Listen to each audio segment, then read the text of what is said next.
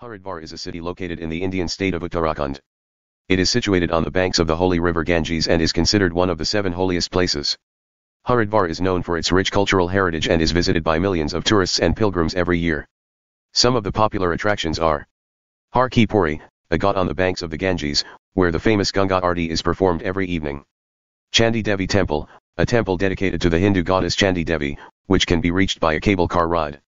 Mansa Devi Temple, another temple dedicated to the Hindu goddess Mansa Devi, which can be reached by a cable car ride. Bharat Mata Mandir, a unique temple dedicated to Mother India, which features a giant map of India made of marble. Daksheswara Mahadev Temple, a temple dedicated to Lord Shiva, which is believed to have been built by Lord Vishnu himself.